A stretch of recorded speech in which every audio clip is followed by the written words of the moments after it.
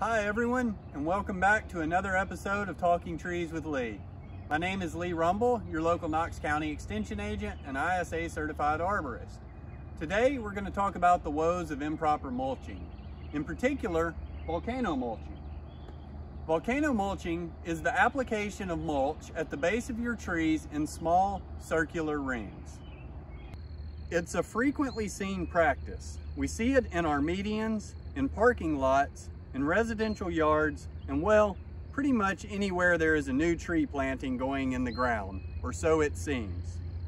Volcano mulching is an extremely destructive practice and a surefire way to kill your trees prematurely, from new plantings to venerable old trees. When trees are volcano mulched, much of that mulch will remain in direct contact with the tree's bark, and it is this constant moisture and heat from the breakdown of the mulch that will eventually cause the bark to rot and separate from the tree. Over time, this separation of the bark disrupts the movement of water, nutrients, and sugars throughout the tree. Interestingly, as I begin to pull back these mulch mounds, oftentimes I can show how the fibrous feeder roots, instead of growing downward into our native soils, will instead grow upward into the softer and oftentimes more nutritious mulch mounds. People are always amazed to see tree roots growing upwards. Now, of course, this becomes particularly problematic in the middle of the summer as these large mulch mounds begin to dry out. Now, oftentimes, I think we volcano mulch because we desire uniformity in our landscape. But keep in mind, nature is rarely uniform. So why not work with nature and try and implement a mulching system that more closely mimics that of the forest floor? Properly mulching trees is highly desirable and one of the most beneficial ways to protect our trees, slowly feed them, add aesthetic beauty, and ensure their long-term survival. Properly applied, rich, organic mulches are extremely valuable to a tree's overall health, and they are also multifunctional.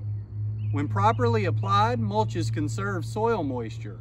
They help cool surface temperature around the tree's root zone, and they improve soil structure over time. But just as important as these biological benefits, properly applied mulches, simply put, keep people, weed eaters, lawnmowers, and vehicles away from and off of your tree's root zone. So how do we fix trees that have been volcano mulched? Unfortunately, if your trees have been volcano mulched for many years, you may find that there is little that can be done, as many of the fibrous feeder roots will have since developed upwards and matured in the mulch mound. This makes it nearly impossible to rake back the mulch pile without exposing or killing many of those feeder roots. However, if you start with a new planting, implementing best management practices when applying mulch can really benefit your trees. I have included a link in the description of this video that expands on different types of mulches and their properties.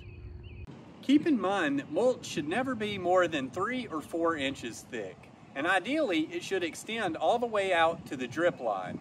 That is the length of those furthest horizontal branches on your tree. This allows those fine fibrous feeder roots to extend out into the drip line and absorb water and nutrients.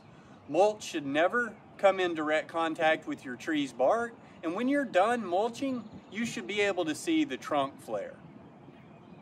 While the upfront cost of a few wheelbarrows full of mulch doesn't seem too costly, the long-term consequences of improperly mulching your trees certainly are. This year, I hope to encourage you to think twice before just applying another layer of mulch. Should you have any questions regarding your specific tree or the best types of mulch to utilize in your landscape, feel free to reach out to me. Thank you all for watching today. I hope you have a great rest of your week.